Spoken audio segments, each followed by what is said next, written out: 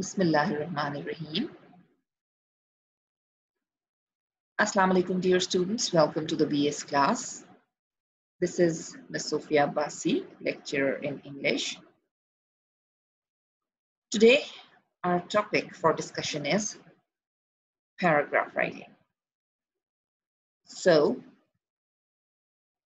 the thing comes in mind that what makes a good paragraph? What are the parts of a paragraph? What comes first? And think of the most important part of paragraph. A paragraph is a collection of related sentences dealing with one topic. Parts of a paragraph. There is a topic sentence, then there are supporting details, there is a closing sentence, and sometimes a transition sentence. So again, certain questions come to our mind. When we think about a topic sentence, we think, what is it? What does it do? And how do we write one? Same goes for the supporting details. What are they? What do they do? And how do we write them? What is a closing sentence? What does it do? And how do we write one? And what is a transition sentence? What does it do? And how do we write one? So, coming to the topic sentence, it is the first sentence in a paragraph. What does it do? It introduces the main idea of the paragraph. And how do we write one? We summarize the main idea of paragraph in topic sentence. Supporting sentences. What are supporting sentences? Supporting details come after topic sentence. They make up body of the paragraph. They give detail and support the main idea. And how do we write them? We give supporting facts, details, and examples in supporting sentences. Moving on to the closing sentence. What is it? It is the last sentence in a paragraph.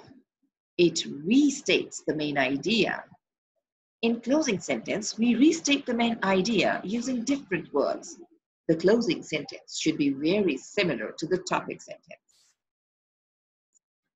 Hey, I'm hungry.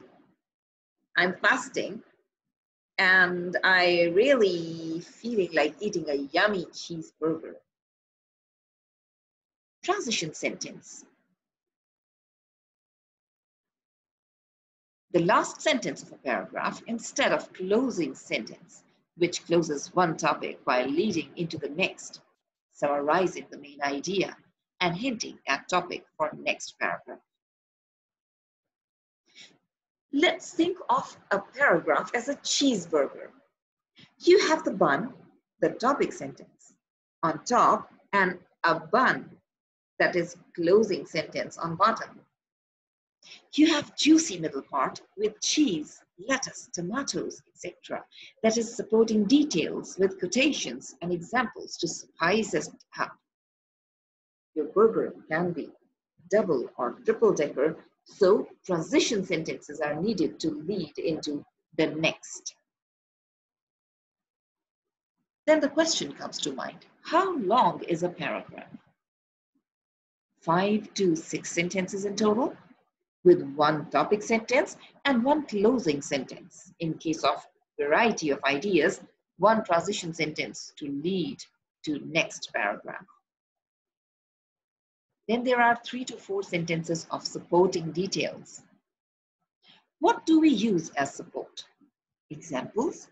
Yes, specific examples from the story, event, etc. in your own words. Then quotations from the story. Then there are additional details. Titles of stories should be put in quotation marks.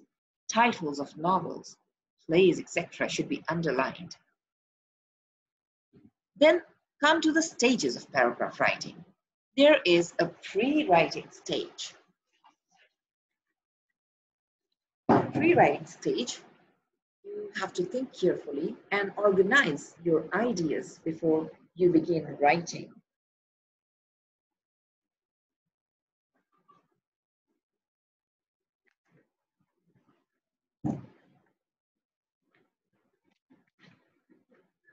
There are six pre-writing steps.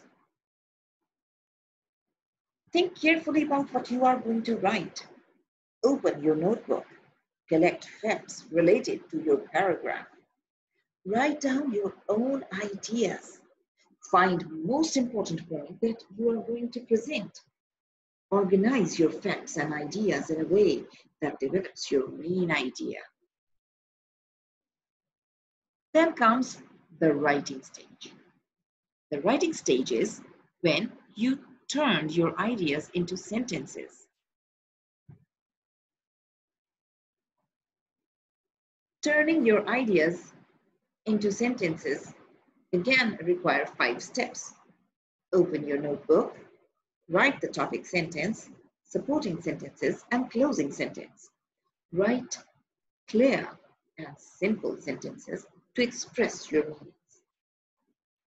Focus on the main idea of your paragraph. You can use the dictionary to find additional words to express your ideas. Then comes the editing stage, when you check your paragraph for mistakes and you correct them. Check your grammar and spelling. Read your paragraph again. Make sure each sentence has a subject. See if your subject and verbs agree with each other. Check the verb tenses of each sentence. Make sure that each sentence makes sense. Check your style and organization.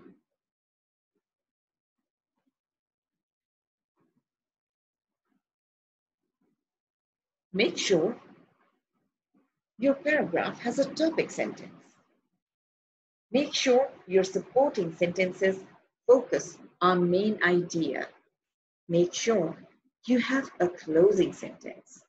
Check that all your sentences focus on the main idea. See if your paragraph is interesting. Then come the types of paragraph.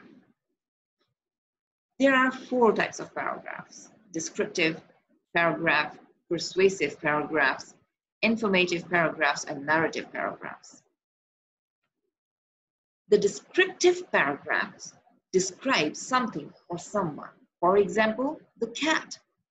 The cat is a quadruped, a four-legged mammal with two ears and two eyes and a tail so that would, this would be giving the description of a cat. So such a paragraph would be a descriptive paragraph. And uh, the persuasive paragraph tries to convince the reader of something. For example, Ariel is the best washing powder. It is best because of its fine uh, granular texture and its uh, best washing effect. So uh, everyone must buy it and use it at least once so as to learn how effective its washing is. I always do my laundry with Ariel. So this would be a persuasive paragraph. Informative paragraph explains an idea and informs facts. For example, my country, Pakistan. And whatever information and detail I give about my country would be informative. Then narrative paragraph. This paragraph tells a story or describes an event. For example, my last vacation. I spent my last vacation uh, with my family in my native village and uh, I really enjoyed that. We loved going out, uh, enjoying village life and that's like all about uh, vacation would be included in narrative paragraph.